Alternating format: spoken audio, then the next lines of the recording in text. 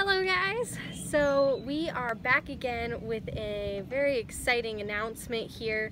Uh, actually quite a few things to announce right now. So I have been working so hard on this for you guys and I'm so excited to release it. Um, so the biggest news and biggest announcement is that we are finally releasing a new song.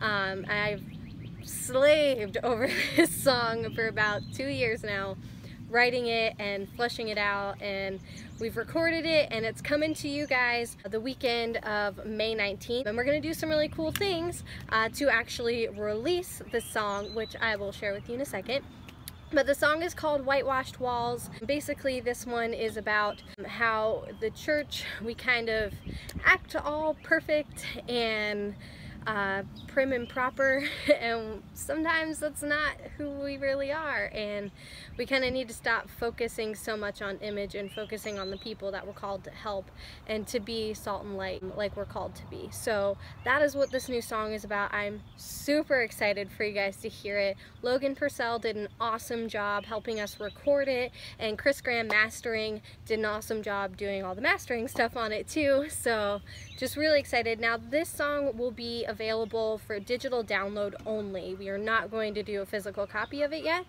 because we are going to, at some point next year, be back in the studio hopefully recording a full-length album for you guys. So the details on that are slowly getting worked out and you'll have more uh, updates to come as soon as we kind of get that fleshed out a bit more. Um, but that will be the reason that this will be download only. Now we are tentatively going to release it on Nimbit, but we are having some issues with that. So if Nimbit doesn't work out, we will release it on SoundCloud. That's our plan B. And we will update you guys to let you know before that happens. We've got about three weeks to figure it out. So that's the first really big exciting news for you guys.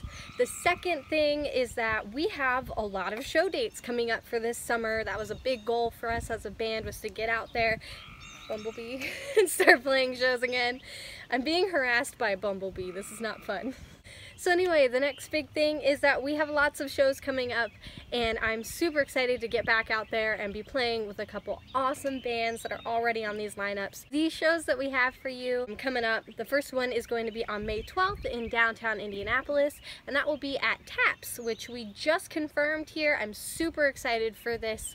Um, we're trying to get more shows south. It's going to be an awesome show. I believe it starts at 9 and we will be the first band going on. So if you do want to see us play, you will have to be there on time. And we will have more details to come on our Facebook page about this. I just haven't had the time to put it up there yet. Um, the second one coming up is our single release show, and that will be May 19th at the Danger Room in Kokomo. It will be us and Shift, which is a worship band group, and also there is an open night, or open mic night before the show. So if you want to come and showcase some of your talent before we get on there and showcase some of ours, please come out, please play. We would love to hear you. That is going to be a super awesome experience and Thank you so much to Chris Bosm for helping me work all of that out and Donna and Rory for being our sound techs because they love me a lot to do that for me. So uh, thank you guys. And then uh, the next show will be May 20th uh, and it'll be actually a radio show. So this one you don't have to go anywhere to hear us. You just have to tune in to the Welt. I will put all the information that you need to know if you want to stream it online. We're also going to be doing Facebook Live during it so you can actually watch us while we're in the studio there. Um, and then it will also be on their radio station. So I will include all of that information on the Facebook page as well. The next show after that will be June 2nd, and that will be at the Gear. And so this is going to be an awesome show. I'm not sure all of the bands that are going to be on it yet, but we have wanted to go back to the Gear for so long now. And we're finally getting the chance to do that. So uh, thanks, Jared. so that will be uh, June 2nd. And then the next show after that will actually be August 26th. That's all we've got on the schedule so far. And that one is going to be with Still the Hand and Friendly's Ruins, which is going to be awesome. And that will be at the Vine in Clinton, Indiana.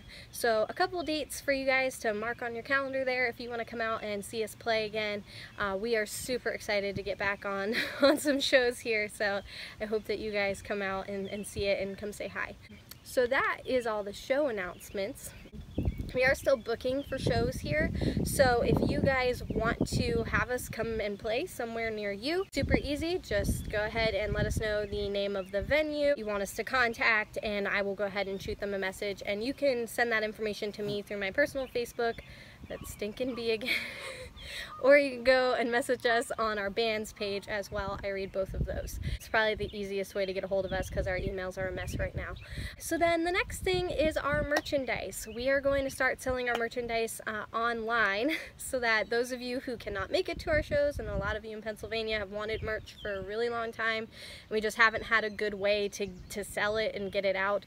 So we are working with a company called Nimbit right now to try and get all of our physical merchandise that we do have up online. With that said, we're going to be putting some new merchandise uh, op options up online as well and we wanted your opinion to see what you guys would like to see at our merch table. So right now on the table is our buttons which are metallic faced buttons with our new logo, which if you haven't seen it yet, go to our Facebook page and our new logo is up there. We would do that in black and white with metal facing varnish on it kind of. Or another option would be to have stickers that are weatherproofed vinyl stickers, like really nice die cut ones of our logo that we would put put on our merch table too if you guys would like that. And then also wristbands, those big rubber wristbands with actual like dye injected, not the crappy printed on ink that fades in two weeks. They would actually be the Saints of Denial in black and white with ink injected, is that what it's called? Mm-hmm. okay, ink injected words on it. I don't know merch terms.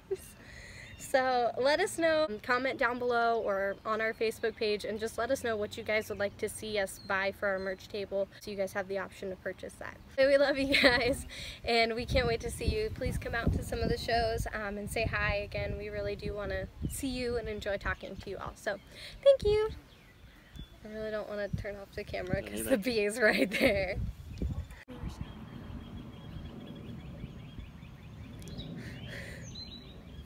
I hear it buzzing behind me and it's worst case of paranoia, but it went over there now. I know you're endangered, but please leave me alone. Go away. oh my gosh, there's two of them now.